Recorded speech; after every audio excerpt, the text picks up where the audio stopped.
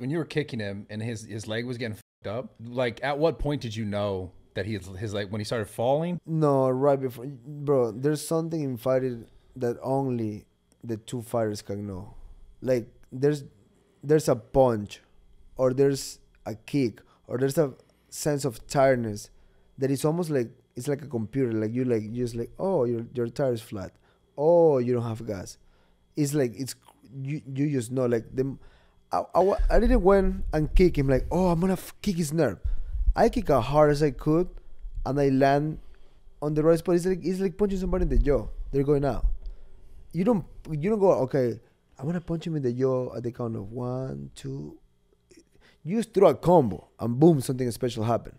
Yeah. And then when I kick him, it was something on his eyes that he just went like, "Oh, f- you hurt me."